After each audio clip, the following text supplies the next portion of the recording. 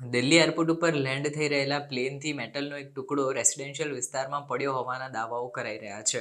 Media reports પ્રમાણે આ ટુકડો એક વ્યક્તિના ઘર ઉપર પડ્યો હતો.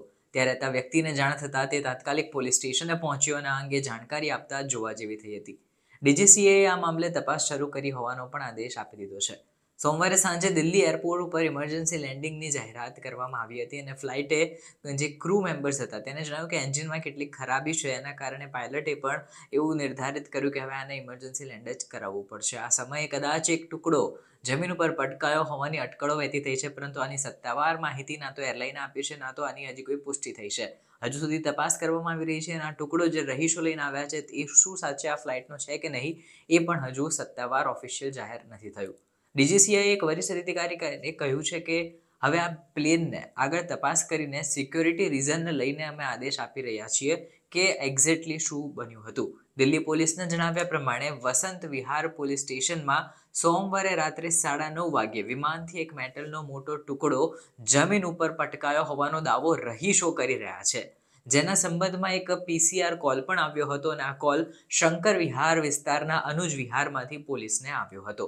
વ્યક્તિએ જણાવ્યું કે એક પ્લેન તેના ઘરની ઉપર આકાશમાં ઉડી રહ્યું હતું. જેવું તેના ઘર પરથી પસાર થઈ રહ્યું હતું કે તરત જ એક એનો ભાગ તૂટીને એના ઘર ઉપર પડ્યો. આ એક મેટલનો ટુકડો હતો જે મેટલનો ટુકડાનો દાવો કરાઈ રહ્યો છે કે આ ફ્લાઇટમાંથી પડ્યો હોઈ શકે છે.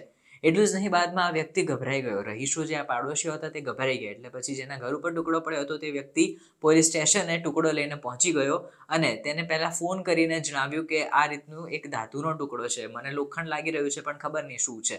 બીજી બાજુ પછી પોલીસ સ્ટેશને આ વ્યક્તિ લઈને પહોંચ્યો એટલે તેમણે તરત જ આ ટુકડો જોઈ અને ટ્રાફિક કંટ્રોલને માહિતી આપી. બીજી બાજુ તમને કહીએ તો એટીસીએ આગળ તપાસ કરી એમાં સામે આવ્યું કે એર ઇન્ડિયા એક્સપ્રેસની આઈએક્સ વન ફોર ફાઇવ જે પ્લેન હતું તે આઠ વાગ્યાને અડતાલીસ મિનિટની આસપાસ ઉડાન ભરી રહ્યું હતું. ચાલક દળે જણાવ્યું કે ફ્લાઇટના એન્જિનમાં કંઈક ગડબડ હોય એમ છે. એમને ઇમરજન્સી લેન્ડિંગ કરાવવું પડશે નહીં તો દુર્ઘટના પણ ઘટી શકે છે.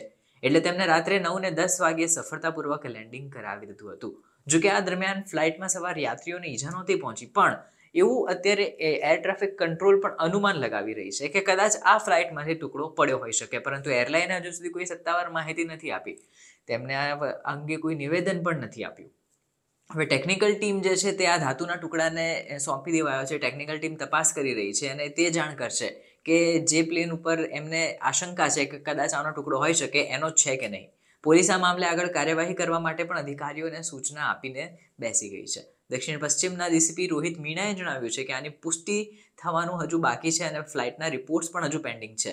રિપોર્ટ્સ જમા કર્યા પછી જ ખબર પડશે કે પ્લેનમાં કઈ રીતે ખામી સર્જાઈ, શું ખામી હતી. જોકે અત્યારે પોલીસ અને અન્ય ટીમ પણ કશું જ કહી નથી રહી કે આ ટુકડો ફ્લાઇટનો છે કે નહીં. આ ખાતરી નથી કરી રહી, કારણ કે હજુ સુધી ટેકનિકલ ટીમ જે છે તેની પાસે પણ યોગ્ય માહિતી નથી આવી. પરંતુ બીજી બાજુ રહીશો ગભરાઈ ગયા છે? તેમને થયું કે જો આ રીતે ટુકડાઓ પડતા રહ્યા અને પૂર વેગે હજારો ફૂટ ઊંચેથી જો આ ટુકડો કોઈ વ્યક્તિ ઉપર પડ્યો હોત, તો કદાચ એને ઈજા પણ પહોંચી શકી હોત. એટલે એ લોકોનો એ મુદ્દો પણ એમને રેઇઝ કર્યો છે. આ અંગે હજી વિગતે તપાસ કરાશે અને પછી આગળ યોગ્ય કાર્યવાહી થશે.